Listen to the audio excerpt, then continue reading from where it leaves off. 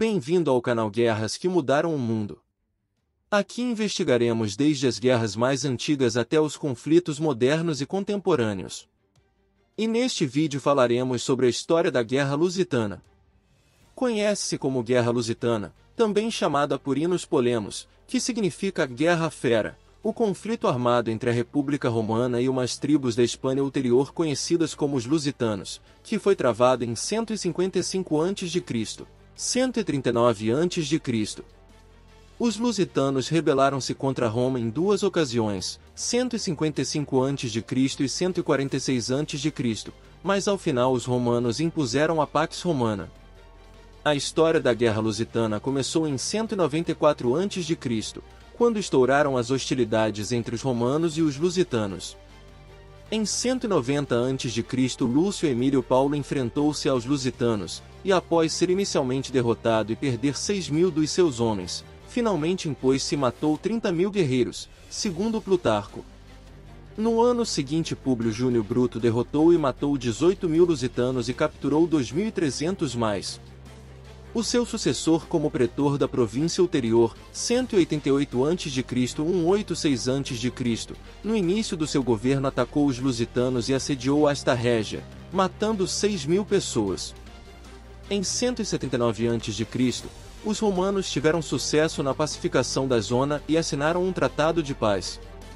Contudo, em 155 a.C., uma grande revolta chefiada por um cacique chamado Púnico, que se aliara com os vetões, açoitou a região.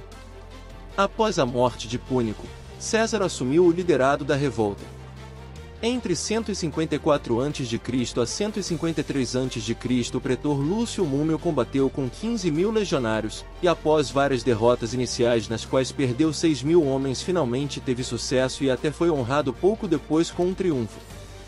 O pretor Sérvio Sulpício Galba e o proconsul Lúcio Licínio Lúculo chegaram em 151 a.C.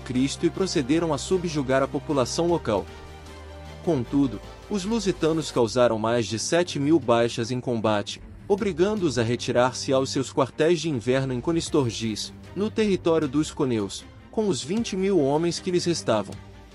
Então Galba convidou os líderes lusitanos a umas negociações de paz, 150 a.C., atraindo mais de 30 mil desarmados, e matou-os ali mesmo, massacrando 8 mil ou 9 mil e vendeu como escravos outros 20 mil, incluindo mulheres e crianças terminando pouco elegantemente esta fase da guerra.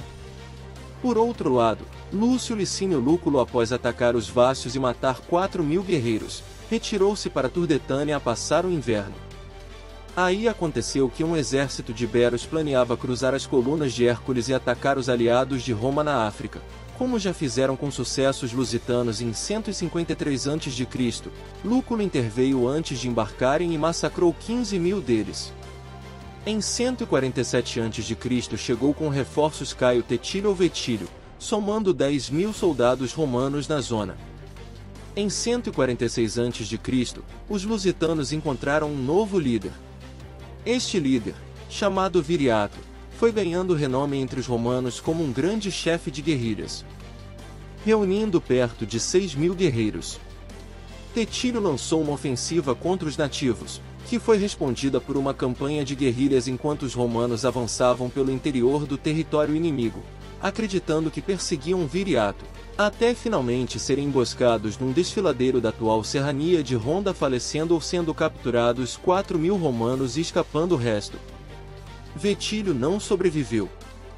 Os romanos sobreviventes foram reforçados por 5 mil belos e titos, lançando outra ofensiva que também terminou num desastre, falecendo a maioria dos celtiberos aliados, tendo de refugiar-se em Carteia aguardando reforços. Viriato e os seus aproveitaram a inatividade do inimigo vencido e tomaram a iniciativa, entrando na Carpetânia e no vale do rio Betis, regiões que devastaram. Enquanto sucessor de Tetílio, o pretor Caio Plaucio ficou no comando da ulterior com 10 mil infantes e 1.300 ginetes, que de imediato lançou uma ofensiva para capturar o caudilho lusitano na Carpetânia. Viriato recorreu novamente às táticas da guerrilha e causou mais de 4 mil baixas nos romanos.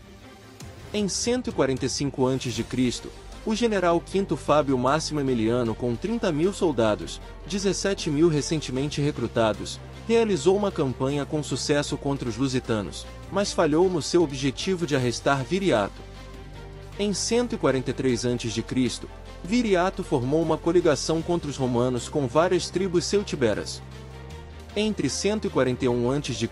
e 140 a.C., Fábio Máximo seguiu a sua campanha com duas legiões romanas e auxiliares, 18 mil infantes e 1.600 ginetes. Viriato derrotou-os, matando 3 mil romanos. O general romano, porém, teve sucesso ao enfrentar os chefes lusitanos Cúrio e Apuleio, numa batalha aberta, destruindo as suas forças e capturados 10 mil dos seus homens. Sexto Júnior Bruto, enquanto intentava capturar Viriato, observou que as cidades da Lusitânia eram defendidas por mulheres guerreiras. Em 139 a.C., Viriato foi finalmente assassinado enquanto dormia por três dos seus companheiros, Audax, Ditalco e Minuro, que foram enviados como emissários a Roma e subornados por Marco Popílio Lenas. Durante 61 e 60 a.C., o propretor Caio Júlio César com um exército de 20 coortes, cerca de 10 mil homens, e 5 mil auxiliares locais submeteu definitivamente os lusitanos,